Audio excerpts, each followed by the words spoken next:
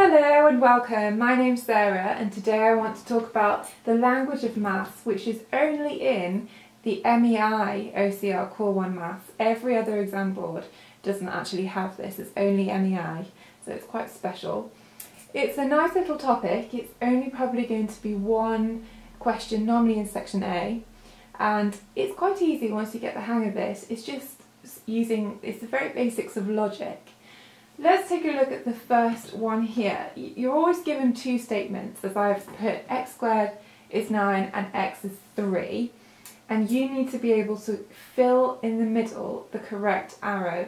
You've got a choice of a forwards arrow, a backwards arrow, or a double-headed arrow. So this one here means that the left implies the right, this one's the right implies the left, and this one's that they're equivalent. They both imply each other. So looking at this one, the best way to approach it is to assume the first statement. So we'll assume that x squared is 9. Does that mean that x is 3? Well, x could be 3, but also x could be minus 3.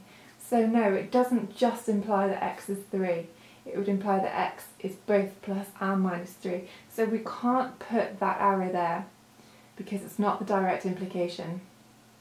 Okay, let's start on this side. Assume that x is 3. Does that imply definitely that x squared is 9? Well yes, if you start off with x is 3, x squared has to be 9. So it will be an implication that way. And that's that one done. Let's take the second one. Assume that shape A is a square. Does that mean definitely that A has four right angles? Well, yes, it does. A square has to have four right angles, so we will put in an implication that way. Now, starting with A has four right angles, does that mean necessarily that it's a square?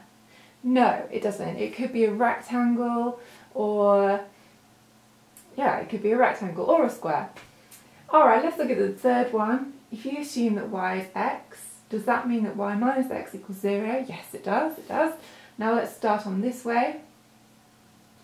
If y minus x is 0, does that mean that y equals x? Yeah, it does. There's nothing else it could be. So both ways are implied, which means you get the double-headed arrow. I'm going to put three more examples of these on the board. Have, pause the video when I've written them down and you can have a go yourself and then come back and see if we get the same.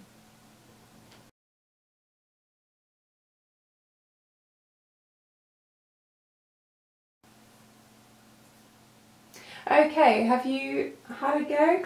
I hope so, I hope they're all right. Let's look at this one. If x is prime, x must have exactly two factors.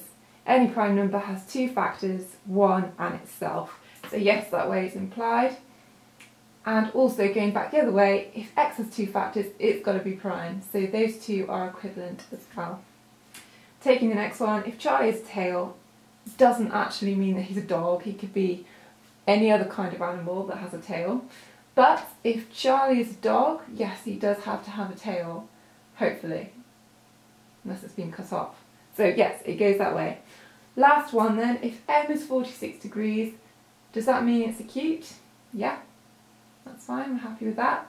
But if M is acute, that doesn't mean necessarily that it's 46 degrees, it could be any other angle less than 90. So it doesn't go back the other way, it's just the forward implication. Okay, well I hope that was helpful.